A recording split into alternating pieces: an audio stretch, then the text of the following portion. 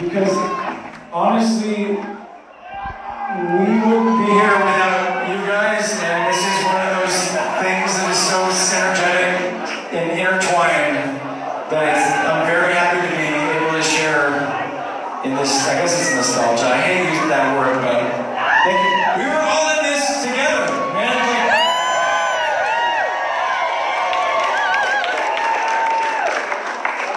I want a louder response. We are all in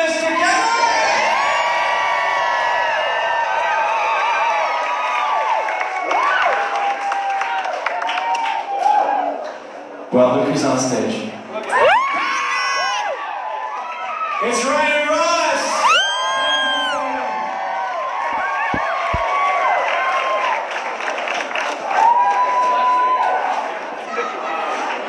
I just talked to Ryan and he said, you're disgusting.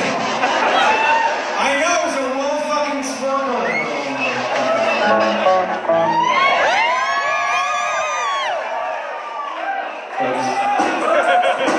Let's give it